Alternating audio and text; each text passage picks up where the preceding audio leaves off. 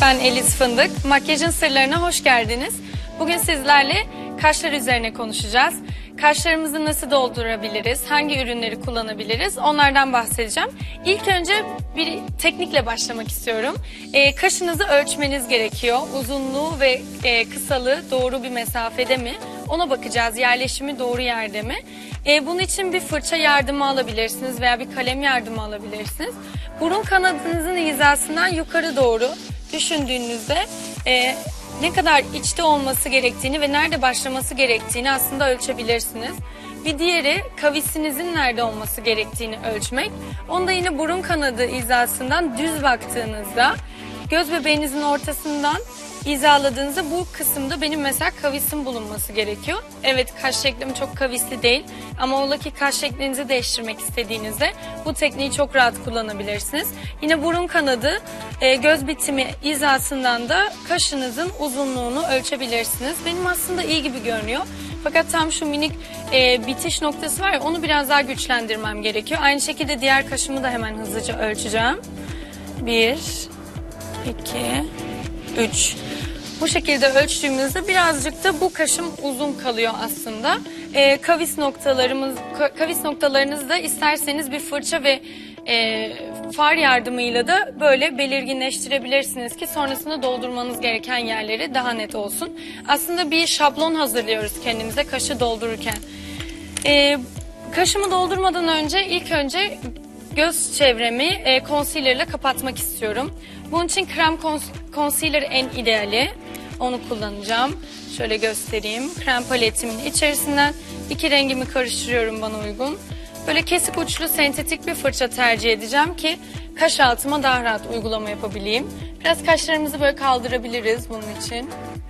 Yoğun bir şekilde kaş dibinden concealer'ı iyice uyguluyorum.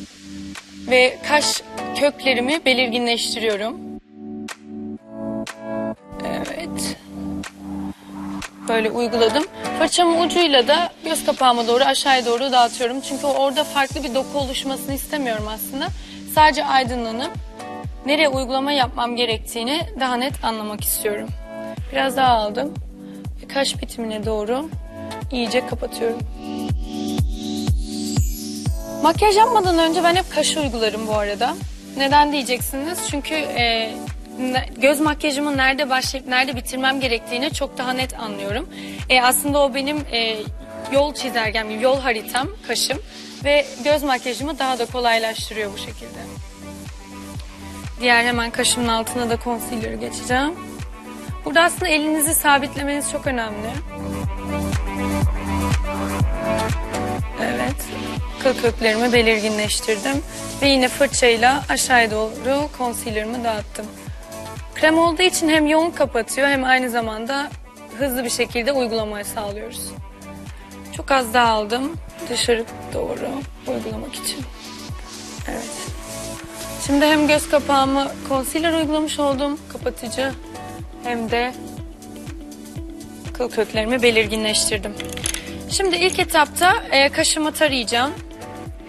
Ve bakalım kaş şek- e, şeklim aslında düz değil mi? Düze çok yakın, düz geliyor. E, biraz hafif kavisli hale çevirebilirim. Aslında son 1-2 senelerde hep düz kaş trend. Fakat e, hep gitgide daha e, şey gösteriyor. Daha kavisli kaşlara doğru gidiyor aslında. Onun haricinde yuvarlak kaş olabilir. Ee, ya da aslında tam kavisli dediğimiz böyle üçgen gibi gelen, çatı gibi gelen kaşlar da var. O şekiller de var. Ama genelde hafif kavisli ve düz tercih ediliyor. Bir de e, saç kılım, e, saç saçımla kaşlarımın rengine bakmam gerekiyor. Aslında gayet uyumlu dip rengimle. Fakat e, e, aralarında gölge gibi durması için daha açık tonlarda bir far uygulaması yapacağım. Neler kullanabiliriz? Bildiğiniz gibi kaş maskaralarımız var. Bu şekilde. Onlarla güçlendirebilirsiniz kaşlarınızı. Kaş kalemleri var. Birçok türü var. Bu biraz daha kalın olan. Aslında aralarından daha böyle dolduran bir kaş kalemi.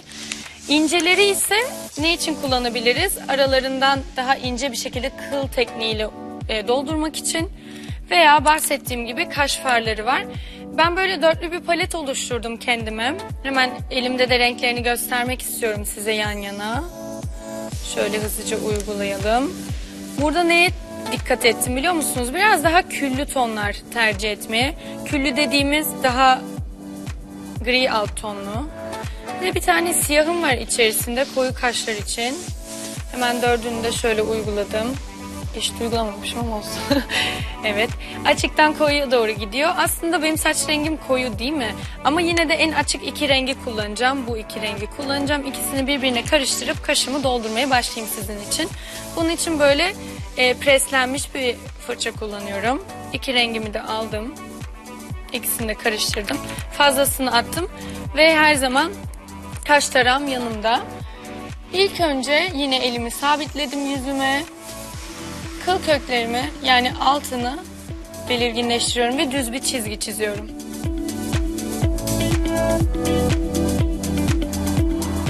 Bu benim sınırım baktığınızda. Şurası biraz fazla öne geldi. Hemen parmağınızla hafifletebilirsiniz. Şimdi yine fırçamın üzerine aldım farımı ve yukarı doğru hafif kaşlarımın arasına doğru dağıtıyorum.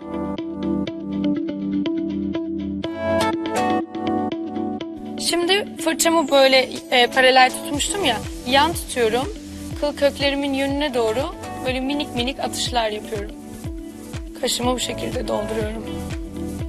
Benim fark ettiyseniz kaşlarım zaten yeterince dolgun. Fakat kaşlarınızı belirginleştirdiğinizde makyajınızı tamamlıyorsunuz. Ve e, boşlukları doldurmuş oluyoruz. Concealer'ımı uyguladığım fırçam vardı böyle daha sivri gelen. Onunla altını tekrardan düzeltiyorum eğer taşırdıysa. Taramak ise daha doğal olmasını sağlıyor ve iyice farı kaşımın içine dağıtıyor. Evet. Tam şu kavis noktasına gelmeden orayı biraz daha dolduruyorum.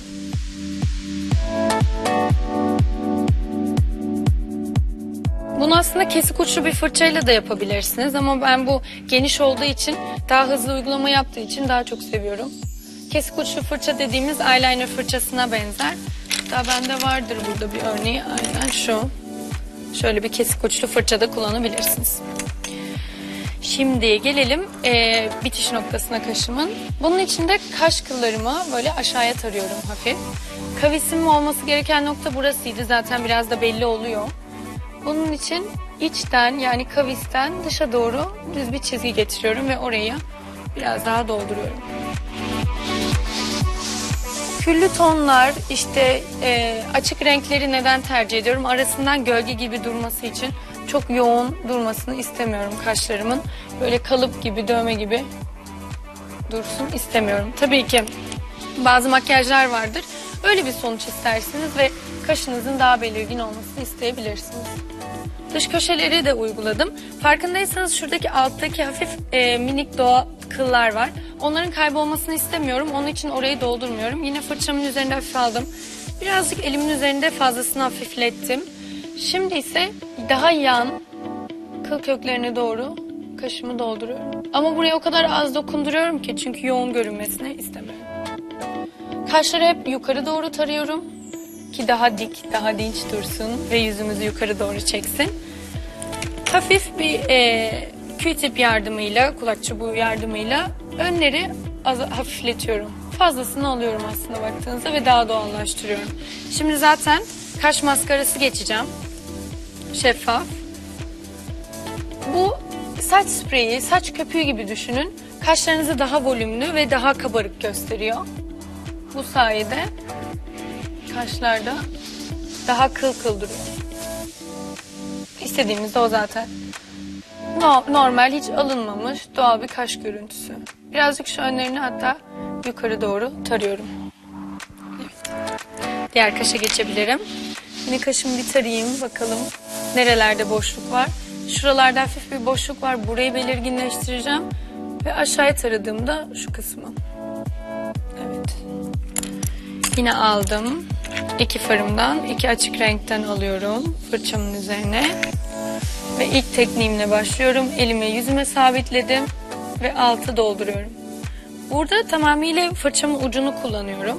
Düz bir şekilde.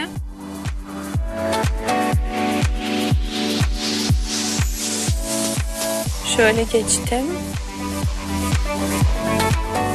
Şimdi de yukarıya doğru böyle aralardan uyguluyorum. Düz uyguladıktan sonra fırçamı daha fazla böyle yukarı doğru tutarak kıl köküne doğru tamamlıyorum. İki, iki kaş e, her zaman birbirine kardeştir, ikiz değildir diye bir terim var makyaj sektöründe. Kaşımı yukarı taradığımda da daha net bir şekilde anlıyorum. Bu kaşın şu kısmı yani orta kısmı kavisin olması gereken nokta biraz daha kalın. Onun için farımdan aldım. Aralardan burayı iyice güçlendiriyorum. Tam şu orta kısmı. Şuradaki kıllara doğru geldiğimde o doğallığı kaybetmemek için yine elimin üzerinde hafiflettim. Ve fırçamın ucunu böyle minik minik dokunduruyorum. Hafif bir gölge gibi aralarından. Evet. Süper. Yine taradık. Şurada minik bir boşluk var. Onu görebiliyorum. Hemen doldurmalıyım. Bu biraz daha uzatılmış e, bir kaş oldu aslında. Ben böyle seviyorum. ben böyle seviyorum. Kendime gerçekten daha e, dolgun ve uzun kaşlar tercih ediyorum. Makyajımı sanki daha böyle dışa doğru çekiyormuş gibi hissediyorum. Gözümün ifadesini değiştiriyormuş gibi. Yine kaş maskaramı geçeceğim. Bu arada renkli de geçebilirsiniz. Renklinin avantajı aralarında boşluk kaldıysa onları da ekstradan dolduruyor. Onu da aslında şimdi bir üzerinden geçebilirim.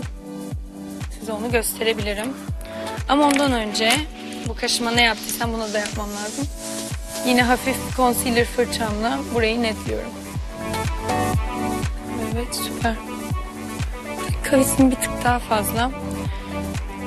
Farkındaysanız buradaki kavis bir, bir tık daha fazla. Concealer'ımdan aldım. Burayı alçaltmak için, yuvarlamak için. Biraz buradaki kıllar var ya onları yok edip orayı temizlemeye çalışıyorum. Evet biraz daha yuvarlandı.